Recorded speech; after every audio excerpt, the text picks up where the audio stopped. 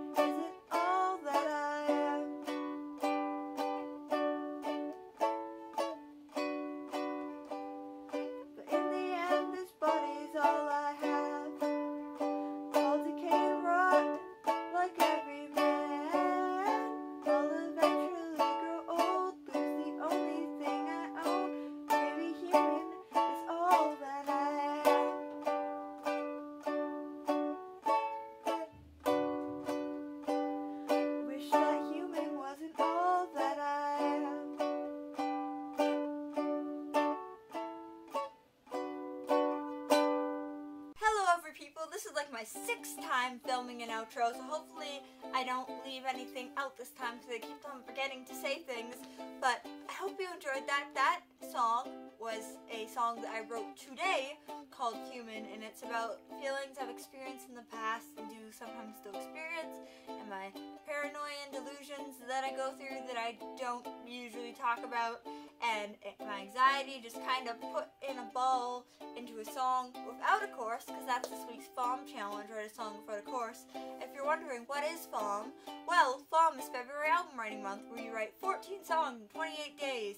Because since I want to release an album on my 18th birthday, kinda need songs for that. So hopefully I can write some good ones this month. I really like this one and I'm really proud of it and I played it a lot today to a lot of different people and they all liked it. So I wanted to film it quickly so that you guys could hear it.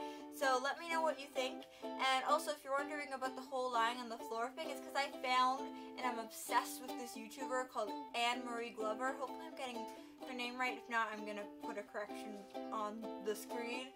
But oh my goodness, she is songwriter, and she does like videos where she's like in the bathtub or lying on the floor. So that's what inspired me. But I don't know if I pulled off the aesthetic as well as she does. But I tried. I tried, and you should 100% check her out. And also just let me know what you thought of my song, and if you're doing FAWM, let me know and hit me up if you want to collaborate.